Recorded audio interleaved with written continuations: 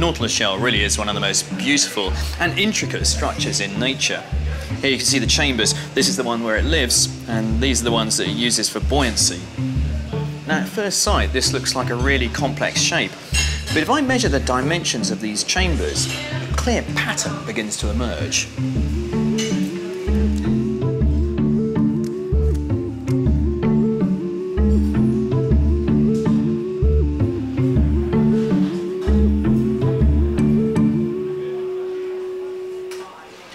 Now, there doesn't seem to be any connection between these numbers, but look what happens when I take each number and divide it by the previous measurement.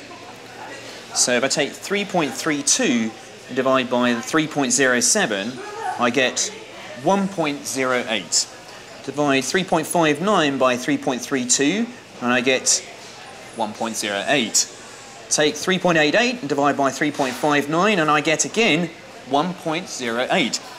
So every time I do this calculation, I get the same number. So although it's not clear by looking at the shell, this actually tells us the Nautilus is growing at a constant rate. So every time the Nautilus builds a new room, the dimensions of that room are 1.08 times the dimensions of the previous one. And it's just by following this simple mathematical rule that the Nautilus builds this elegant spiral.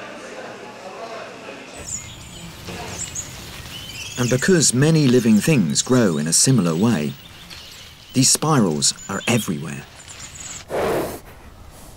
The rules nature uses to create its patterns are found within the code.